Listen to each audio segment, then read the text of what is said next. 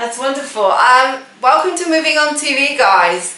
Today we're doing a big experiment. Um, I'm actually trying to interview someone on Skype and put the program on for you.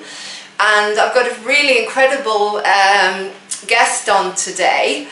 Um, it's a young man called Trey Olds, a young man called Trey Olds, who's actually very young. He's 16 years, years old. Um, he's in Mississippi.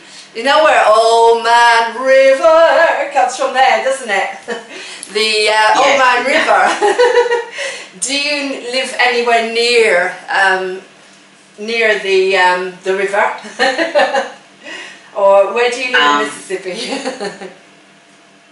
I live in Lucedale, Mississippi. It's like an hour um, Gulfport, Mississippi, where which is close to Mississippi River. right. Okay. Wow. So that's quite close, isn't it? And how's the weather there at the moment? Do you have good weather, or is the weather as bad as ours? Well, actually today is sunny for a change, but um, how's the weather with you today? We have weather like we do in England, but one day we had four seasons in the same day. You had we had autumn, winter, summer, and um, what did I leave out? autumn, winter, summer, and spring, all in the same day, and it jumped from hailstones to really strong sunshine, and I've never seen anything like it. Do you ever get weather like that? No sunny, but it's going to. We're going to have a little, you know, rainstorm or whatever. It's been raining for the past couple days. Okay. okay. Crazy English weather. Anyway, I'm really happy to be here today on Moving On TV with an extraordinary young man whose name is Trey Olds. And Trey runs his own radio station, which is the Trey Olds radio station. That's what you call it, isn't it? Yes, that's right. Trey Old's radio show. And the most, the most, what's even more extraordinary about Trey is that he was diagnosed with autism um, in uh, 2012. Is that right? Um, well, it was in December after Christmas, 2012.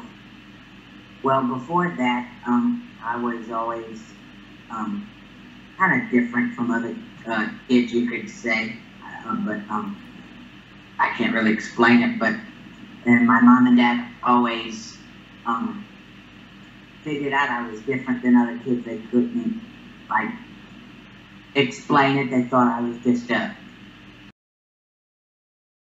explain it, but and my mom and dad always um, figured out I was different than other kids. They couldn't.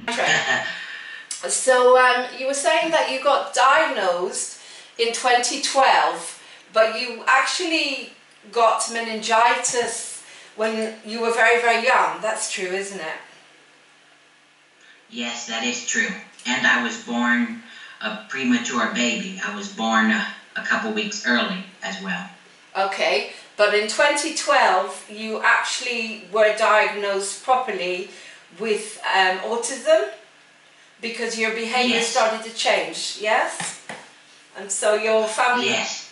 So your family got you diagnosed properly. Now, how did that change your life as a young man suddenly to find out that you are actually autistic? Did it affect you in a big way? How did it affect you, Trey? What do you say? Well, I didn't really know what it was at the time, you know. I didn't know. Then they explained to me what the behaviors of autism was. And then we go from there, you know. I they gave me medication and treatment and it didn't really have a negative effect on my life, but it had um it, you could say it changed my life because if I didn't have it, I wasn't who I was today. But Okay, so you say that autism changed your life in a big way because it made you what you are today. Yes, So, um, I mean, you you are extraordinary in what in what you're doing because you're not letting uh, the condition rule your life in any way. You've gone out there and you've been broadcasting your own radio show. I mean, it's just so exciting. So, how did that happen? How did you get into media and wanting yeah, to actually do this? Well, I, that's a good question, but um, I'm, um, well, I started in 2014.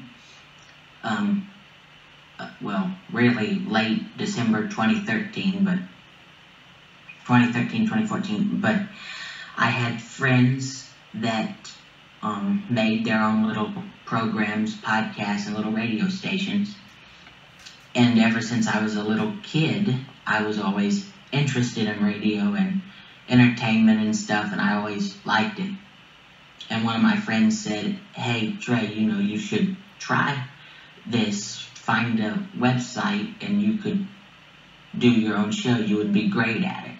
And at first I was like, eh, I don't, I don't know, you know. And um, I tried it, and the first show I did, it got um, 30 viewers in one day, and that ain't bad, you know, for one day. 30 people listening in in one Yeah. day. Now that is very good, isn't it? Wow. Fantastic. Yeah. You, sorry, go on, carry on.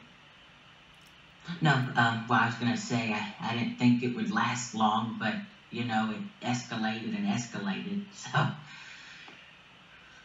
So basically, you started to do this, um, in spite of the fact that you have autism. So, what what are your symptoms? What would you say your symptoms are for the type of autism that you've got?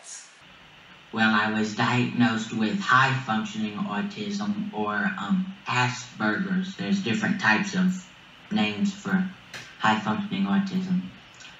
And my symptoms were anxiety, and, um, you know, I would just be nervous all the time. And um, I would repeat certain words, and, you know, I would keep on repeating sentences over and over and um, really um, behavior wise um, it's gotten better but i take medicine for it and uh, you know it's gotten way better than it was you know Of course, yes. Fine. So, of course, yes. Fine. So, do you find that running your radio station really helps you to deal with the symptoms and helps you to have a better life because you're being very creative? yes um, i'm very creative it helps my radio show and all my creativity projects they help me stay grounded you know they help me stay in one place. I mean i'm not all over. I mean it keeps me busy but i'm not busy all over the place. But mm-hmm. and i i've been on other radio stations talking about autism and meningitis and all that. So i'm out there and doing a lot of stuff. Amazing.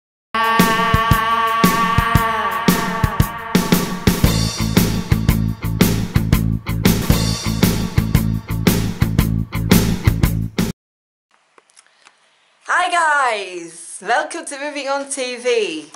And we're doing a raffle, and I'm calling on you all to buy tickets.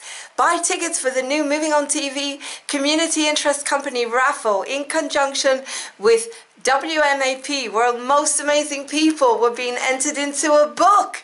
And so the money from the raffle will go to fund this. So you can get free life coaching with amazing NLP coaches, hypnotherapy session, reflexology, chocolates, um, toys, and music and a free advert for your business or your book on Moving On TV with your own music in the background that will be written for you, or your own promotion and interviews Moving On TV. All if you buy tickets for this amazing raffle, you can win loads of prizes. So get in there. Contact Lauren on movingontv.uk or you can PM me and Lauren Hope on Facebook or you can get me on at movingontv Twitter. Looking forward to hearing from you. Get lots of tickets and let's talk about getting rid of the stigma of borderline personality disorder on the amazing WMAP with Casey Armstrong and also on Moving On TV and in the book Simply Amazing, which will be a New York best-selling book, we hope, with your help. Okay, looking forward to seeing all the amazing ticket selling.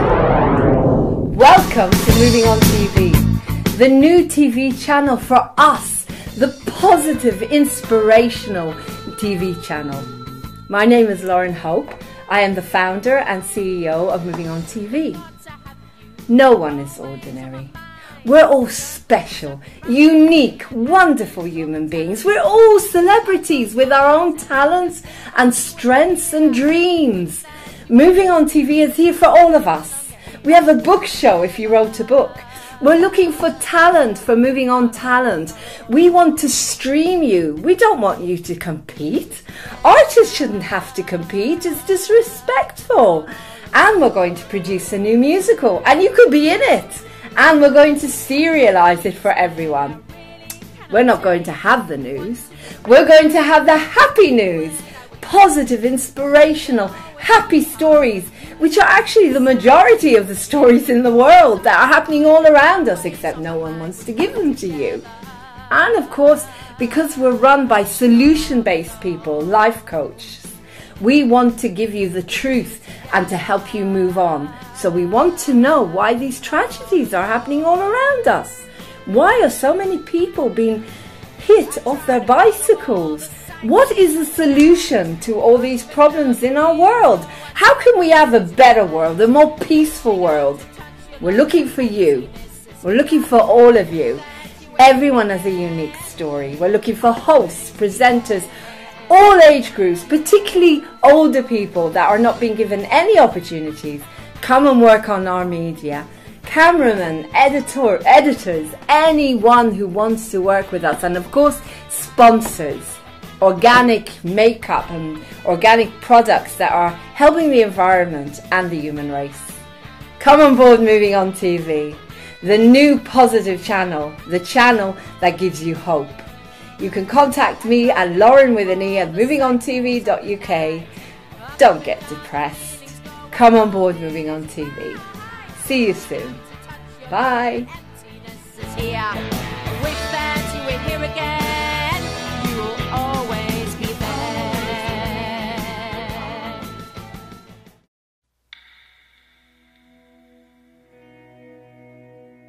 Hello, my name is Martin Oswald of Martin Oswald Hypnotherapy.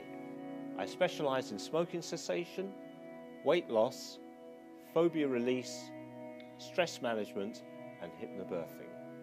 I can do a free assessment via the phone, via Skype or face-to-face -face at any time. So that's Martin Oswald of Martin Oswald Hypnotherapy. Looking forward to your call now. You can also find me on my Facebook page, which is Martin Oswald Hypnotherapy. Welcome to Welcome the Trey, to the Trey Olds Radio, Show, me, starring me, your announcer Bob Thibodeau, and our host, and our host Trey Olds. Trey Olds. Enjoy the show. Enjoy the show. Welcome back to Moving On TV and our new program where I interview incredible people from all over the world. I'm so excited because this is the first interview I'm doing properly on Skype and I'm hoping I'm going to be edited so that you can actually watch it and that everything will flow nicely. Well, we're doing our best. Today I've got Trey Olds uh, from the Trey Olds radio station in Mississippi and um, we've been I've been interviewing him about his career uh, at the young age of 16 and also, or sorry, the mature age of 16 because I feel like I'm talking to a very old wise soul. Um, and because he's also was diagnosed with a serious autism condition in 2012, he's actually taken that and taken all the traits and what we call weaknesses, he's turned them into strengths. That's yes, right, that's isn't it? True. That's very true. Yes, yes. Which is extraordinary, isn't it? Absolutely extraordinary. So you, no one has got an excuse to just sit there now and say, I've got a dream, but I've got a clue what to do about it. When you watch this interview, you're going to be so inspired hopefully, and you're going to start thinking about what am I going to do with my. So basically, um, Trey is going out there to tell other people that it doesn't matter what condition you've got. You know, we work very similar to um, WMAP and Casey Armstrong. We work, you know, I don't want to take his thunder away from him, but we do put on people that are extraordinary and unique and are going out there to change their world and lots of other people's worlds. They're not letting anything hold them back. That's right, isn't it? Yes, that's yes, that's true. Everybody has a voice, you know. Everybody has their own thing they can do, you know. Mm-hmm. Doesn't matter if you have autism, anything. You you have a purpose, you know. It's fantastic. And I try to go out there. So um, you're still at school, so you've still got your studies yes. and everything. um, so how do you run this around? I mean, how do your parents cope, uh, deal with it? Do they support you in spite of the fact that you're at school and you've still got your exams and everything? How do you run the radio station around your life? Well, um, my parent, my parents are fully supportive. They help me in any way they can, and um, school-wise and radio show business, um, I do my radio show when I get off of school, which is around two o'clock. So I do the radio show business at two o'clock until six o'clock or whatever. And on the weekends, I mostly do it every day and all the time until seven o'clock. So it's, you know, now in the summer I could do it more because, you know, school is out. So I've been busy with that. Of course, of course. I'm really impressed with the way you work. I'm really impressed how communicative you are and how easy it is to talk to you, Trey because I was a little bit nervous of that. You know, um, again, we have the stigma of autism the same way as we have the stigma of mental illness. People don't know, and so you know when you don't know um, how a person's going to react, you you get confused and maybe a bit scared.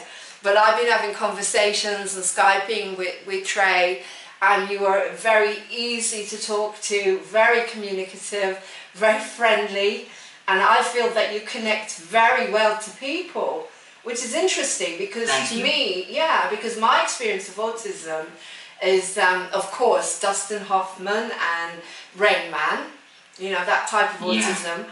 Or when I've worked in social services and I've worked with people that have not been able to relate to me in any way, shape, or form, they've seen a pair of glasses and they've related to my glasses, so to speak.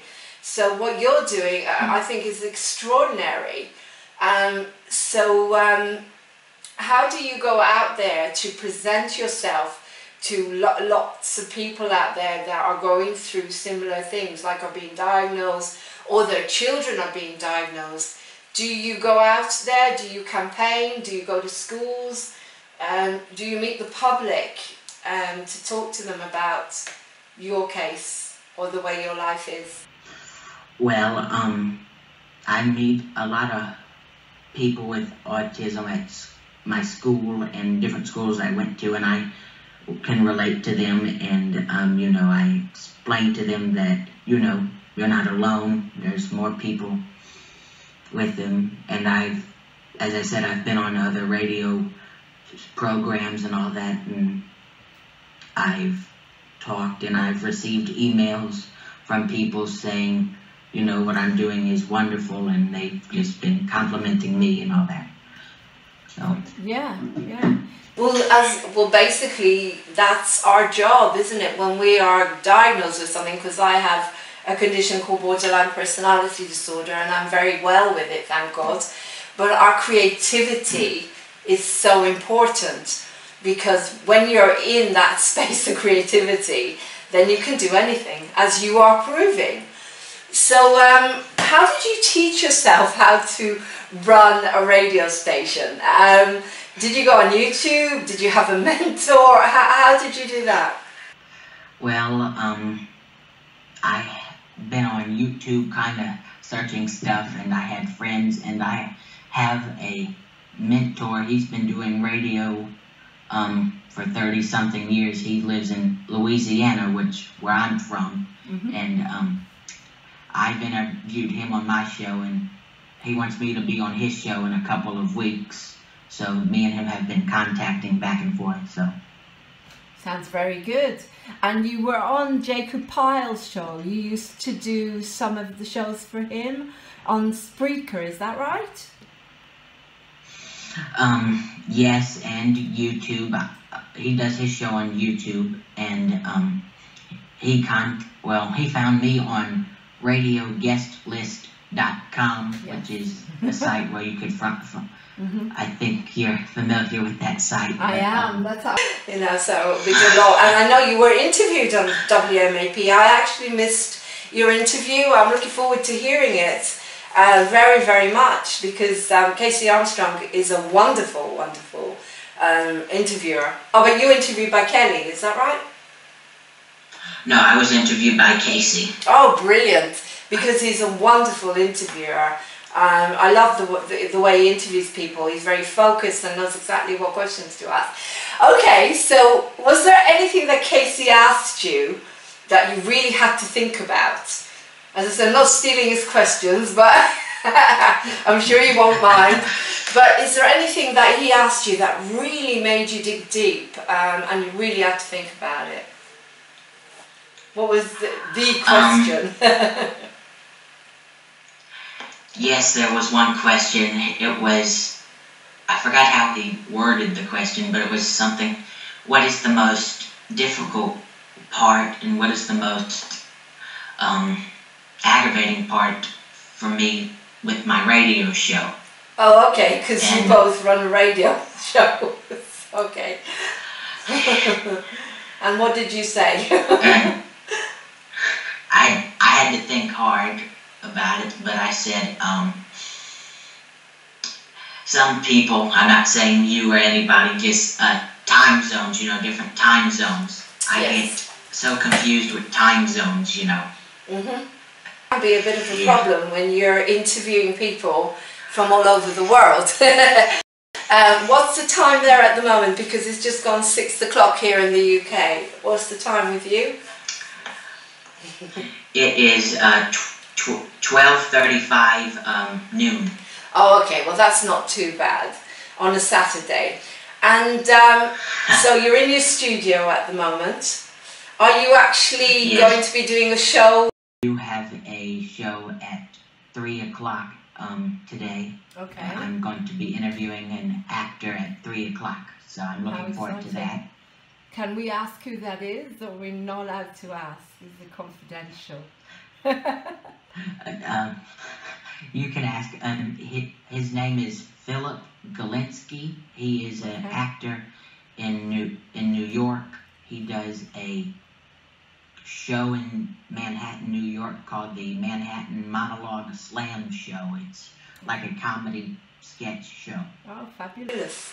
Fabulous. So you must get to interview lots of exciting people from all walks of life. What would you say was the most difficult interview you've ever done?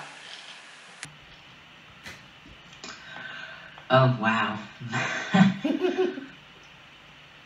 there was um one and I'm not gonna say his name just for No, um, that's fine. No, we keep it confidential, but we won't mention names. What happened? But um, he he was a voice actor in, in Rochester, New York, and um, um, it was difficult for me because he wouldn't really answer my questions, like the simple questions, like you know how did you get started in voice acting, and he did a little radio as well, and he kind of went around you know, not answering the, just, just bringing on little um, different conversations about it. Mm-hmm. And I find it most difficult because they're not really answering the question. Yeah. But so you kept trying to get him to answer this question, but he, he kept evading it, did he? Yes, and um, he finally answered some of the questions, but he he didn't really feel like talking. It was simple questions. It wasn't, you know, mm-hmm. kind of. So, um, and uh, oh, sounds really interesting yeah. and a bit embarrassing, obviously, because you do you go live on air with Spreaker, or is it similarly similar to what I do, where you edit it and you can cut bits out? Unfortunately, it's it's it's live air. So. Right. Okay. right. Okay. So it was kind of embarrassing. I have an advantage with moving on TV because we film everything. I edit, have to edit everything, so I get a chance to cut things out. You know, if I was streaming, going, you know, live, that would be different, but I'm not doing that yet. But I do find that is an advantage, definitely. You know, because especially if I could dry up and I can't think of what to ask next. But no, um, that doesn't usually happen because one thing leads to, to another. So um, going back to you basically getting out there, starting your own broadcasting, your own radio station, learning everything on YouTube, practicing it and setting up your account on Spray, it's Spreaker, is it? Or Spreaker? Um, Spreaker, yes. Sorry, um, Spreaker. S-P, yeah. Okay, S-P-R-E-A-K-E-R, is that right? Yes. Okay. Yeah. Um, and um, basically doing it that way. Now, you said that you really, really wanted, to, you loved acting yourself. And you really enjoy oh, yeah. doing um, like comedy and stuff like that to make people mm -hmm. happy. Um, do you do your own show that way? Uh, you know, in the way do you do you do um, like sketches that you make up, or do you write stuff?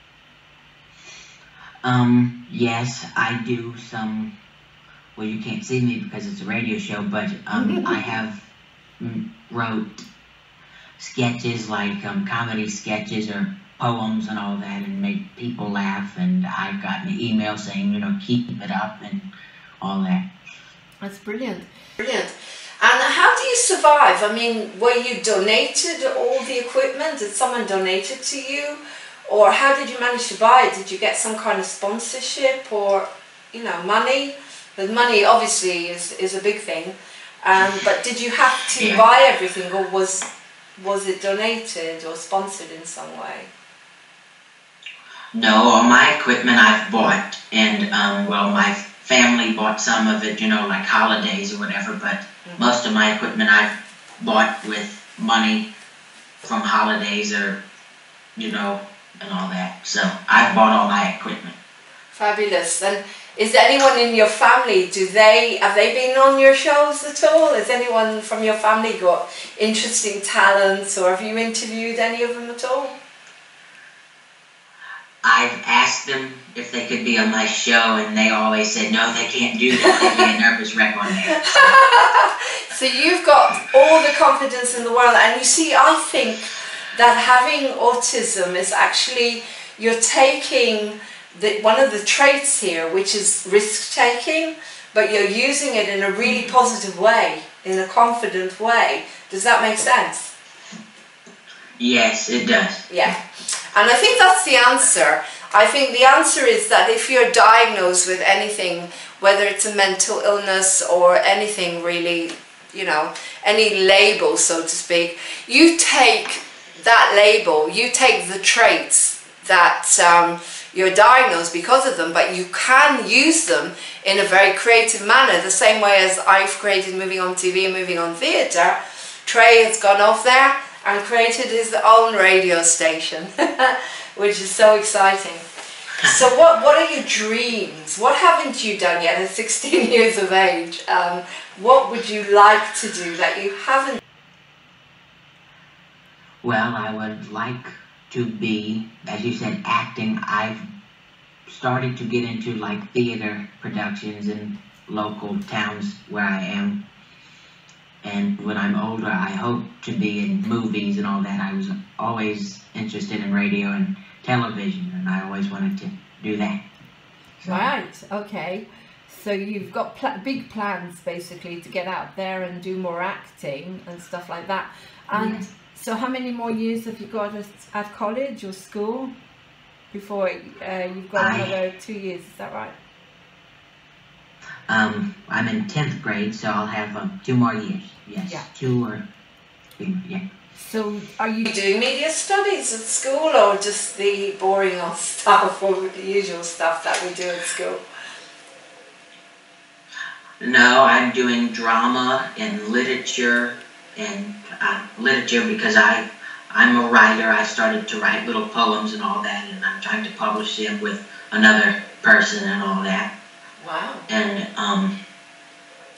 Do you remember your poems off by heart? Because I I know that that's one of the occupational problems of writers. I never remember my songs. Um, I record them, so I remember them. It's true. But do you remember any of your poems that you could maybe you could give us a little bit of one of your poems now? Um, sadly, I can't remember. No. okay. Okay. Well, as I say, that seems to be uh, an occupational hazard of writers where we don't actually remember our materials. So we record it so that we can go back to it, luckily, and then, you know, we can actually do what we need to do. So, as you were saying, you, you want to go out there, you want to be an actor. So if you go out there and start acting, what's going to happen to Trey Old's radio station? Are you going to get other people in to work with you to run it? Um, well, um, that's a difficult question. So when I grad, I go to um, to do radio and acting, I'm probably going to quit my show and go to work at a radio station and be a DJ there. So. Oh, I see. Okay, so you're going to move up and use all of this as a really good experience to get your foot yes. in the door, basically. Right. Okay. Mm-hmm. That's amazing. So, um, so what else would you like to say to our viewers? Because obviously this is going to go out and moving on TV. People are going to be watching you. People are going to be amazed, and a lot of people are sitting there thinking, "Oh." I want to do something, but I, I can't do this and I can't do that. And, you know, we're all about solutions. So what would you suggest to anyone who's just sitting there thinking, I'd like to do something like that. I'd love to um, do something like run my own radio show. What would be the first step, do you think, that they could take towards making this happen? Well, um, think positive, you know, don't give up hope. There's hope out there for everyone. Autism or anything, if, you know, everybody has a purpose in life, radio, television, or painting, or anything you would, what your dream is, just go out there and take it easy, easy steps, you know, don't force it, but just, it's out there. Yeah. Yes. That's amazing. You are so mature for your age. It's like I'm talking to an old soul here. Now, some of us, it takes a whole life to get to the levels that you're getting. And it's re I'm really, really proud and humbled to have you on here to be interviewing you. And um, do you have any plans to come to England at all? So we can meet you? Um, probably when I'm older, probably in my 20s, I would probably, because I love to travel, I so I would probably come to London, England, or wherever, England, you know. Excellent. So much, Trey. I hope you enjoyed this as much as I did. Um, to wrap up, we're just going to say thank you very, very much to Trey Olds from the beautiful Mississippi and Old Man River and I'm so sorry here because I'm so ignorant. What is the name of the river again? the Mississippi River. Mrs. Mrs. Yes, Mississippi. The Mississippi River. I know. um, just very quickly, you know, I I actually did go to America years and years ago, and I went to my um, Memphis. Um, I think I went to um, Louisiana. I can't remember exactly, but I do remember the jazz bands on the river, this beautiful riverboat, and you had these jazz bands. Do you get them near you? Yeah. Yeah, really, really um, wonderful. Um, mm. See them, but when I lived in Louisiana, it was everywhere because, you know, New Orleans, jazz bands are very popular, mm-hmm. and um, they go around and everything. I love jazz, so. Oh, brilliant. Yeah. Yes, so do I. So, um, just, just one more question. The type of music um, that you play on your radio show, is it particularly for very young audiences or do you also play jazz and classical and a mixture of stuff? For others? Well, um, I play um, because my show is a family-based show. You know, no curse words or anything. Good. No inappropriate like stuff. so I play all kinds of um, music, country, rock. I don't really play rap music. I'm not a fan of it, so I don't no. really play it. No, I fine. Yes, I understand that. So basically, it's an all-rounder show where you'll play lots of types of music. And and, and your audiences would you say that uh, people of all ages listening to your show? Yes i generally it's mostly teenagers and older people that i find listen to it so. Okay. Fantastic. So i'm really looking forward to seeing the end the end product of what we've done today and i hope you are and I just wanted to say thank you very much and how incredibly exciting it's been to interview you. You are really um, amazing. Again, I don't want to take thank uh, Casey's world most amazing people away from him, but you know, a lot of people would just be sitting there and whinging or whatever, you know, having, he calls it a pity party, but you don't. You get out there and, and you do a lot for others and you have a lot of fun doing it. And that I think is the answer. That is the answer to in life basically.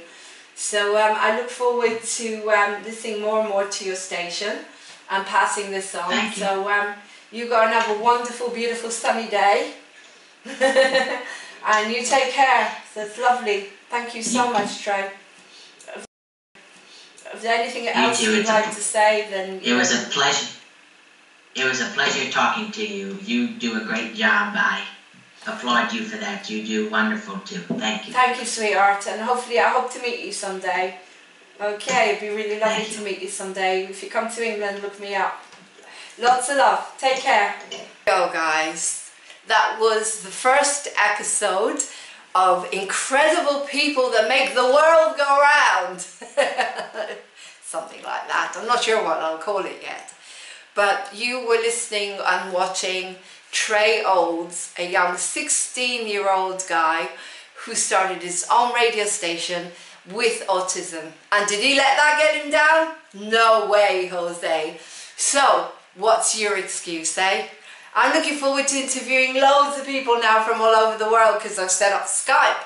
It's going to be great. So hopefully I can edit this and make it really good for you. Thank you so much for watching. You know where I am. If you want to be interviewed, you are all unique. I love you all.